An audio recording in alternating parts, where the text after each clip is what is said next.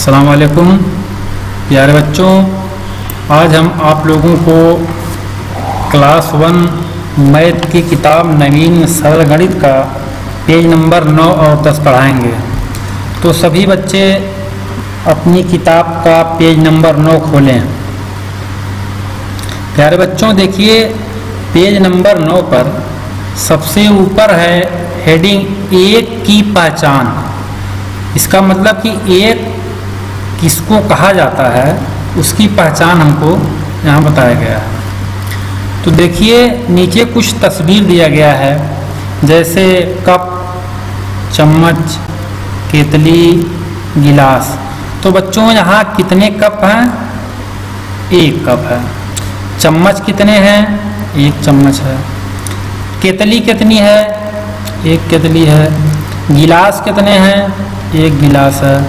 तो बच्चों यहाँ जितने भी चित्र दिए गए हैं, सबकी संख्या एक है। कितनी है? एक। एक किसको कहा जाता है? देखिए, अंगुली के इशारे से एक अंगुली एक अंगुली के इशारे से बताया गया है कि यही एक है।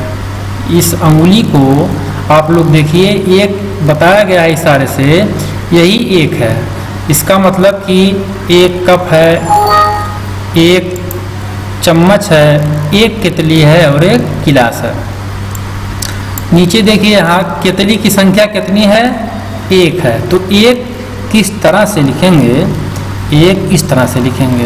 बच्चों देखिए, एक को लिखने का तरीका ये है, एक इस तरह से लिखेंगे। एक। आगे, गिलास की संख्या कितनी है? एक। एक गिलास है। तो हम एक गिलास को एक कैसे लिखेंगे? अंकों में देखिए, एक इस तरह से लिखा गया है, लिख करके बताया गया है, यही एक है। लिखने के लिए एक हम इस तरह से प्रयोग करेंगे। यहाँ देखिए, कप। कितने कप हैं? एक कप। एक को हम कैसे लिखेंगे? इस तरह से लिखेंगे। अगला है चम्मच। चम्मच को हम कहेंगे कि यहाँ चम्मच की संख्या कितनी है? तो एक है। तो बच्चों, देखिए, एक लिखने के लिए इस तरह से एक लिखा जाएगा। तो बच्चों, अब आप लोग अपनी किताब का पेज नंबर 10 खोलें।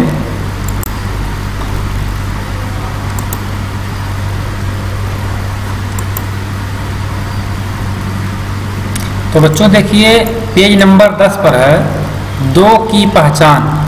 यानी दो कितने कितने को कहा जाता है, उसकी पहचान हमको यहाँ बताई गई है।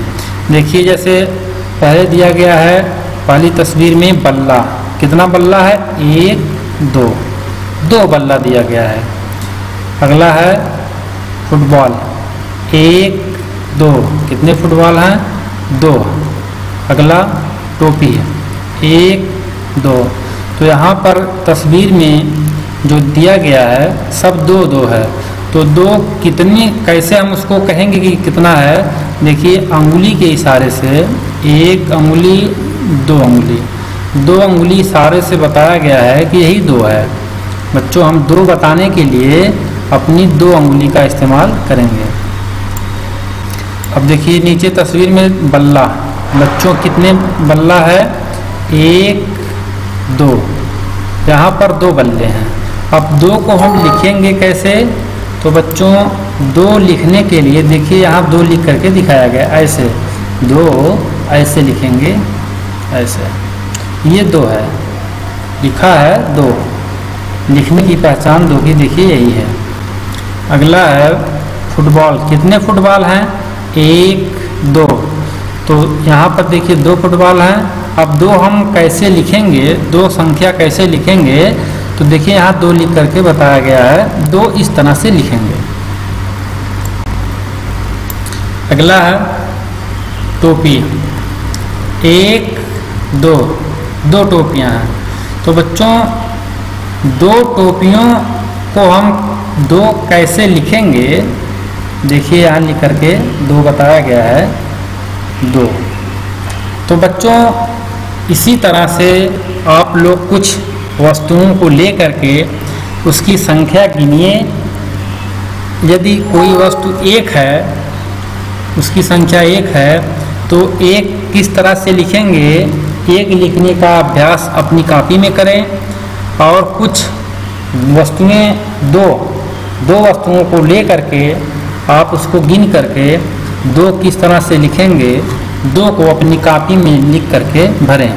तो प्यारे बच्चों, आज के लिए हम आपको इतना ही पढ़ाएँगे, एक और दो की पहचान।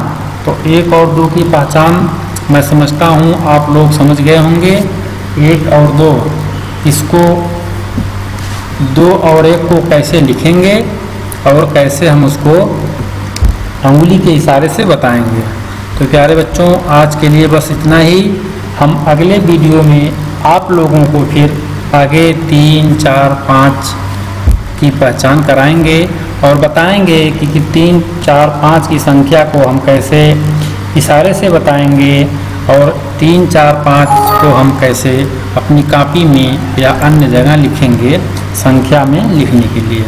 तो प्यारे बच्चों, आज के लिए बस इतना ही। सलाम वालेकुम।